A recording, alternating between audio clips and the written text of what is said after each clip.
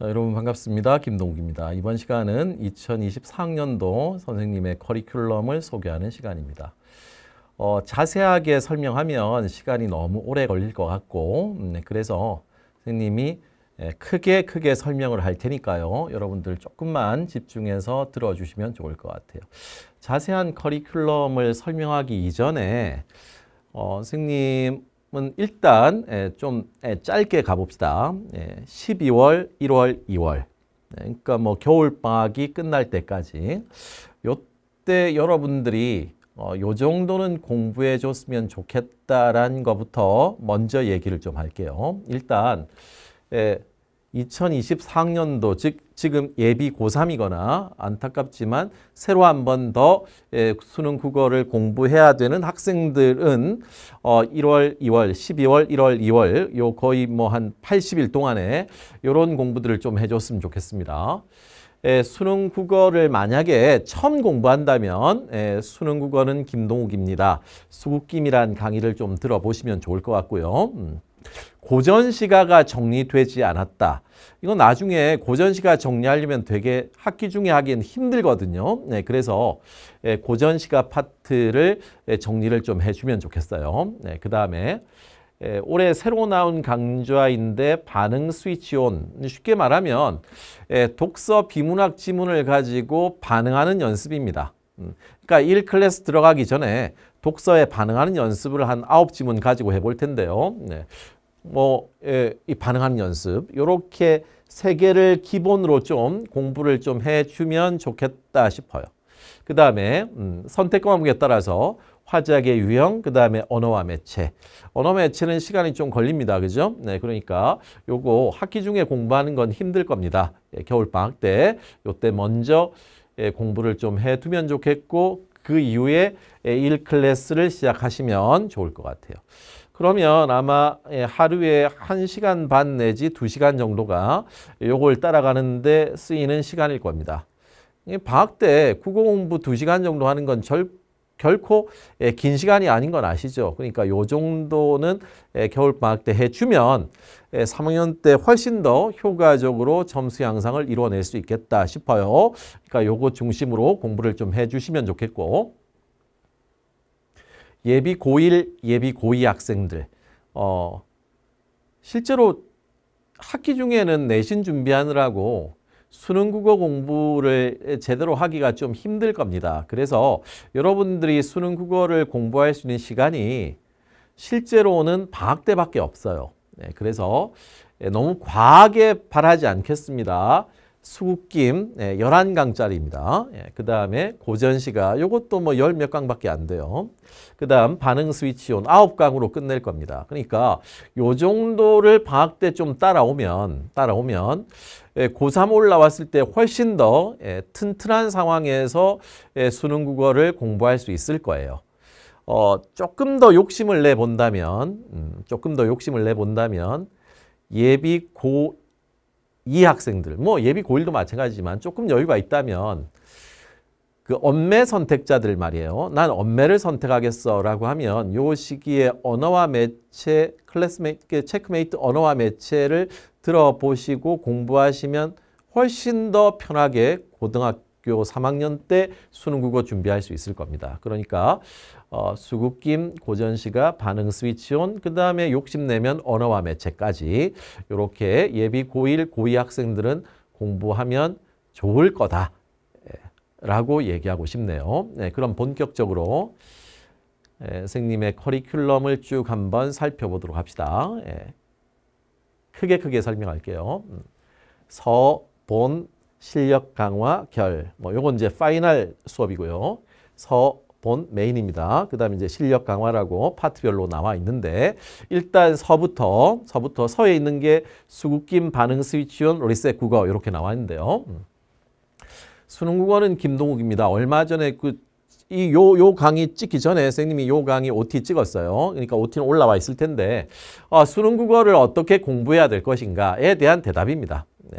처음 수능 국어 공부하는 학생들 아 내신은 국어하고 수능 국어 많이 다르거든요 여러분 네, 그래서 수능 국어는 이렇게 공부하는 것이 효율적이겠구나 라는 것을 얘기하는 강좌라고 생각하면 됩니다 수능 국어를 처음 시작한 학생들에게 아, 많은 도움을 줄 거라고 믿습니다. 자, 그 다음에요. 음. 네, 반응 스위치옷. 올해 처음으로 만든 강좌인데 수능 국어는 김동욱입니다 해서 바로 1클래스로 넘어가기에 중간에 독서가 비약이 좀 심해요. 그래서 자, 요 아홉 지문, 아홉 지문입니다. 아홉 지문. 음, 평가원이나 수능에 최근에 출제되었던 반응하기 좋은 독서 지문 아홉 지문을 가지고 한 지문당 쌤하고 한 3, 40분씩 그러니까 그렇게 헤비한 강좌가 아닙니다. 3, 40분씩 여러분들이 예습해 오시고 아 이렇게 읽었어야 좋은 거야 라고 하면서 좀 예, 일취월장 클래스로 넘어가기 위한 독서를 좀 예, 제대로 공부하는 기초, 예, 독서의 기초라고 생각하시면 좋을 것 같아요. 음. 그 강좌가 반응 스위치 온입니다. 자, 그 다음에 리셋 국어는요, 예, 6평 끝나고, 예, 주로 이제 수험생들을 위한 예, 강의인데, 6평 끝나고, 이때까지 만약에 어, 잘못된 국어 공부방법을 해왔다면, 이렇게 공부하는 것이 맞지 않느냐. 6평에서도 봐. 이렇게 공부했으면 훨씬 더 좋은 점수 받을 수 있지 않았을까. 예, 그러면서 나머지 다섯 달 동안 이렇게 공부해 보자. 라는 걸 제안하는 그런 강좌입니다. 한 5강 정도니까요. 그렇게 긴 강좌는 아닙니다. 자, 요게 이제 시작하는 강좌라고 생각하시면 되고요. 음. 메인 강좌입니다. 가장 뭐 중심되는 강좌이죠. 일치월장 클래스입니다. 일치월장 클래스. 어, 선생님 대치동에서 현장 강의를 하는데 그 현장 강의를 일, 일주일에 3시간짜리입니다. 예, 현장 강의를 거의 뭐 1도 편집하지 않고 예, 그대로 올리는 강좌라고 생각하시면 됩니다. 음. 말 그대로 1클래스, 취클래스, 월클래스, 장클래스 시기별로 이렇게 나누고요. 예, 뭐 본질, 체화, 심화, 실전 이게 이제 일취 월장의 핵심적인 중요 단어라고 생각하시면 되겠어요. 음. 현장 강에서도 바탕 모의고사가 있습니다. 현장에서도 바탕 모의고사를 치니까요. 네, 바탕 모의고사가 중간중간 이렇게 분배되어 있습니다. 아, 그리고 현장에서는 어, 연필통이라는 주간 학습지가 이제 나가는데 그것과 똑같은 걸 에, 인강에서도 하고 싶다라고 하면 딱 두 가지 하시면 돼요. 에, 연필통, 일치월장에 딸려있는 연필통과 그 다음에 본바탕, 에, 본바탕 모의고사. 예, 본바탕. 요거 요거 본바탕이라는 건 이제 바탕 모의고사의 관연도 문제들을 다시 한번 좀 깔끔하게 다듬어서 만드는 교재인데요. 요 두 가지가 아마 일취월장 클래스의 부교재로 뜰 거예요. 예, 그러니까 요 두 가지를 가지고 함께 병행하면 예, 현장과 숙제마저도 똑같다. 예, 현장과 인강이 다르지 않습니다, 선생님. 숙제마저 똑같다라고 생각하시면 됩니다. 예, 뭐 시기하고 이런 것들은 차차 예, 1클래스 1클래스에 OT 할 때 또 자세하게 얘기할 거니까요. 예, 바탕 모의고사가 각각 2, 3회씩 이렇게 섞여 있습니다. 마지막 장 클래스에서는 바탕 모의고사가 5회 예, 이렇게 섞여 있다는 거 정도만 이해해 주시면 될 것 같아요. 자, 그 다음에 음, 넘어갑시다. 자, 화법 작문인데요. 음, 선택 과목 여러분 이제 좀 이따 이제 선택하시겠죠. 이미 선택한 학생도 있을 거고요. 선생님 입장에서 화작은요. 그렇게 많이 공부할 필요가 없는 과목이라고 선생님은 생각해요. 음, 화작을 가지고 막 뭐 하루에 한 시간씩 공부할 이유 전혀 없어요. 그러, 그러려면 차라리 그 시간이면 차라리 엄매를 선택하는 게 낫죠. 화작은 어, 문제 출제된 유형이 있습니다. 그래서 화작의 문제 출제 유형을 좀 살피고 네, 선생님이 한 세시간 정도 수업을 유형별로 수업을 할 거고요. 그 다음에 부교재로 본바탕 화작편이 있는데 이때까지 바탕 모교사 화작편 중에서 깔끔한 세트를 한 스무 세트 정도 묶을 거예요. 그래서 그걸 부교재로 여러분들이 연습용으로 풀어나가는 그리고 좀 설명이 필요한 건 선생님이 수업으로 부교재를 설명하는 그 정도이면 화작 공부 전혀 문제가 없을 거라고 생각합니다. 그래서 이 정도로 화작을 마무리하는 걸로 네, 화작의 유형편이 있습니다. 자, 그 다음에 언어와 매체죠. 언매는 어, 공부를 해야 선택의 의미가 있는 과목이에요. 그죠? 예, 공부를 해야 공부할 시간이 있어야 되고 언매를 그냥 선택하는 게 아니라 언매를 선택했다면 그래도 문제가 까다롭게 나오는 편이니까 예, 좀 자세하게 공부할 수 있는 그런 의지가 있어야 되는 과목입니다. 함부로 언매 선택하는 건 좋지는 않아요. 공부할 자신이 있는 학생들이 선택하셔야 돼요. 어쨌든 예, 시간이 좀 예, 공부할 시간이 좀 필요합니다. 근데 이걸 중간에 화작을 하다가 언매로 바꾸거나 아니면 6월달 평가원 치고 나서 이제 언매 공부해봐야지 아마 절대 못할 거예요. 그렇죠? 공부할 시간이 그때는 나오지 않을 겁니다. 그래서 언매는 최대한 3월 들어가기 전에 끝내세요. 겨울방학 때 끝내셔야 됩니다. 여러분 내신할 때 언매를 언어를 어느 정도 공부를 했기 때문에 그렇게 뭐 무리 무, 무리가 아닐 거예요. 예, 겨울 방학 때 좀 공부를 해보시면 엄매가 그렇게 생각만큼 그렇게 공부량이 많은 것도 아닙니다. 그래서 꾸준하게만 잘 공부하면 엄매 선택할 만하다. 그리고 웬만하면 겨울방학 때 끝내라 라고 얘기하고 싶어요. 음. 예, 체크메이트 연필통이라고 예, 요거는 이제 복습용 교재죠. 요것도 부교재로 실려 있습니다. 어, 전체적으로 한 21, 대여섯 강 정도 매년 언매 찍고 있는데 그 정도 나오더라고요. 그래도 에, 암기가 아니라 이해 중심으로 언어와 매체 공부할 수 있으니까 여러분들 에, 의지를 가지시고 겨울방학 때 끝내겠다라는 생각으로 언매 체크메이트 잘 따라와 주시면 충분히 의미가 있을 겁니다. 음. 그 다음에 넘어갑시다. 예, EBS 클래스예요. EBS 클래스. 어, EBS 교재에서 50%가 반영된다. 수능에 이런 말 들어보셨죠? 이 수특편은 3월 중순쯤에 나올 텐데 음, 이 수특편은 여러분들 고등학교 3학년 되면 알겠지만 어, 1학기 중간고사, 기말고사 시험 범위에 포함됩니다. 그래서 웬만하면 수특편은 EBS 교재에 나온 고 양식 그대로 선생님이 좀 자세하게 설명을 할 거고요. 이제 7월 중순에 나올 수완편은 수능 완성편은 어 이젠 뭐 그 내신하고는 전혀 무관한 거니까 요건 수능에 맞춰서 수능에 나올 만한 작품들 중심으로 컴팩트하게 진행하려고 합니다. 어쨌든 요런 EBS 강좌가 있다라는 거 정도 네, 지금 알아두시면 좋을 것 같아요. 자, 그 다음에 강화 클래스인데요. 고전시가. 음, 고전시가는 뭐 일단 먼저 양해 말씀을 드리면 에, 올해는 고전시가 찍을 에, 여력이 없을 것 같아요. 그래서 에, 2023학년도 고전시가를 그대로 올릴 텐데 뭐, 뭐 달라진 건 아무것도 없으니까 요거 참고하시면 되고요. 특히나 그, 그 등급이 한 3, 4등급 되는 학생들이 2등급으로 딱 올라가기 위해서 필요한 게 몇 개가 있는데요. 그 중에 하나가 고전 시가입니다. 고전 시가 주요한 작품들을 좀 공부해 두면 어떤 모의고사 나와도 좀 편하게 빠르게 풀 수 있거든요. 네, 고전 시간은 해석만 되면 문제는 정말 어렵지 않습니다. 근데 해석이 안 되니까 시간을 오래 끌고 남들보다 이제 뭐니 예, 많은 시간을 여기에 할애하면서 예, 독서 지문 풀 시간도 없어지는 예, 그래서 성적이 잘 안 나오게 되는 예, 원인이 되는 과목이니까 선생님 이 강의 그렇게 길지 않습니다. 중요한 시 중요한 시조, 그 다음에 중요한 가사문학 작품들 중심으로 에, 수업을 했으니까요. 요거 정확하게 좀 들어보면 고전시가 공부하는 게 훨씬 더 편할 거예요. 네, 그래서 웬만하면 고전시가 정리가 되지 않은 학생들은 겨울 방학 동안에 아까도 얘기했지만 고전시가 공부하시면 좋을 것 같습니다.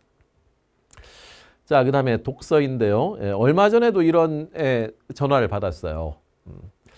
선생님 저희 딸이 음, 예체능인데 독서에서 과학기술, 법경제만 나오면 아예 안 풀고 넘어가요.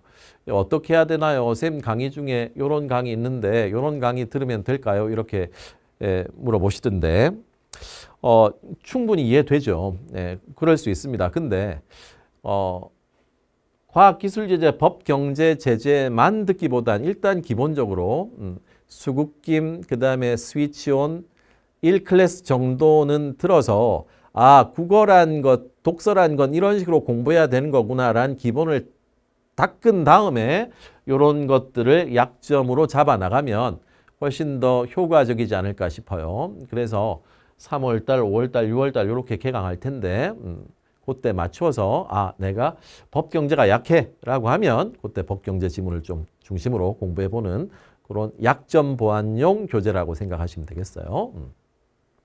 요것만 덜컥 듣지는 말란 얘기입니다. 오히려 비효율적일 수도 있다라는 얘기 하고 싶어요. 음. 그 다음에 엔제이죠. 예, 바탕 공통과목 모의고사인데 음, 잘 들으셔야 돼요. 이때까지 나왔던 바탕 모의고사 중에서 올해 EBS 교재가 나올 거잖아요. 네, 그 EBS 교재와 연관된 지문들만을 골라서 예, 10회분을 만들었어요. 만들어요. 네, 그래서 음, 올해 EBS 교재 연계 출제된 독서 문학 예, 공통 과목이니까 선택 과목은 없습니다. 이렇게 해서 30 34문항을 10회분을 만들어서 이렇게 여러분에게 예, 교재가 나갈 거고 선생님은 요거를 일주일에 한 회씩 꾸준하게 풀이할 겁니다. 그죠? 예, 그렇게 해서 6평쯤 끝나고 6평 끝나고 본격적인 모의고사 시즌 되기 전에 예, 일주일에 한두 회씩 좀 차분하게 풀어보는 그런 예, 실전 연습용으로 나쁘지는 않을 것 같습니다. 네. 물론 예, 바탕 모의고사가 나올 거고요. 음. 자, 그 다음에 final이죠. 네. final 언어와 매체. 예, 여러분 언어와 매체란 과목은 하고 잊어먹고 하고 잊어먹고 이런 과목이잖아요. 그래서 9월 예, 달 평가원 끝나고 9월 중순쯤부터 한 5주간 매주 라이브로 이렇게 예, 수업을 진행해 왔고요. 올해도 마찬가지일 겁니다. 그렇게 해서 핵심적인 내용들 중심으로 네, 요거 잊지 않았지? 네, 그 다음에 요거 혹시 주의해라는 식으로 그렇게 수업을 전개 나갈 테니까요. 요거 뭐 언매 선택자들 마지막에 정리용으로 들으면 좋을 것 같아요. 예, 그 다음에 여기 보시면 예, final이 final 실전이 있고 잔 클래스가 있잖아요. 물론 잔 클래스는 이제 예, 바탕 모의고사 중심으로 하는 예, final 강좌입니다. 근데 이 final 실전편은 스튜디오 수업인데요. 요건 뭐냐면 음, 말 그대로 6월, 9월 평가원을 분석하는 강좌라고 생각하시면 돼요. 그러니까 올해 6월 모의고사와 9월 모의고사를 잘 분석해서 분석하면 수능하고 연관성이 꽤 있거든요. 네, 그래서 아, 6월, 9월에 이렇게 나왔으니까 수능에선 이런 식으로 좀 준비해보자 라고 얘기하는 그런 강좌라고 생각하시면 됩니다. 네, 길진 않아요. 한 4, 5강 정도이면 예, 마무리할 수 있습니다. 그렇게 전체적으로 예, 올해 커리큘럼들을 대강 설명해 보았습니다.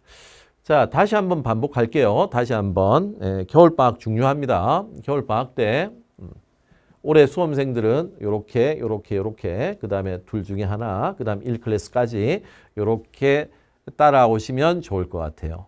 효과적인 커리일 겁니다. 그 다음에 어, 예비 고 1, 2 학생들은 수국김, 고전시가 반응 스위치온 또 욕심내자면 엄매 선택자들은 언어와 매체까지 이렇게 공부하시면 훨씬 더 편안하게 고3 생활 시작할 수 있을 것 같아요. 됐죠? 자, 어, 선생님이 나열형 강의를 되게 싫어하는데 에, 예, 커리큘럼은 어쩔 수 없이 이렇게 들 수밖에 없었네요. 그래도 지루한 얘기 끝까지 잘 들어줘서 고맙습니다. 자, 음, 수험 생활은요 마라톤하고 똑같습니다. 에, 예, 하루 이틀 막 열심히 달리다가 한 3일 에, 널브러져 있으면 아무런 의미가 없어요. 그러니까 여러분들 에, 시작 시작의 마음 네, 여러분 다 가지셨을 텐데 그 마음 변치 않고 굳건한 마음으로 끝까지 최선을 다해서 달려주시면 수능날 좋은 성과 있지 않을까 생각 듭니다. 쌤도 여러분 옆에서 끝까지 최선을 다하겠습니다. 네, 잘 들어주셔서 고맙습니다. 이상입니다.